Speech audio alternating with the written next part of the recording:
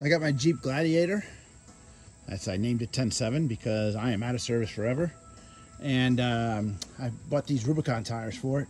And the problem is uh, they don't have sensors in them. So I took the sensors out of the old tires and um, I'm putting them in, the, in these tires. So first thing you gotta do is jack it up. Second thing is take the air out. So while the air is coming out, I uh, took the um, pin out of it. We're going to um, remove the uh, real lug nuts while we're at it.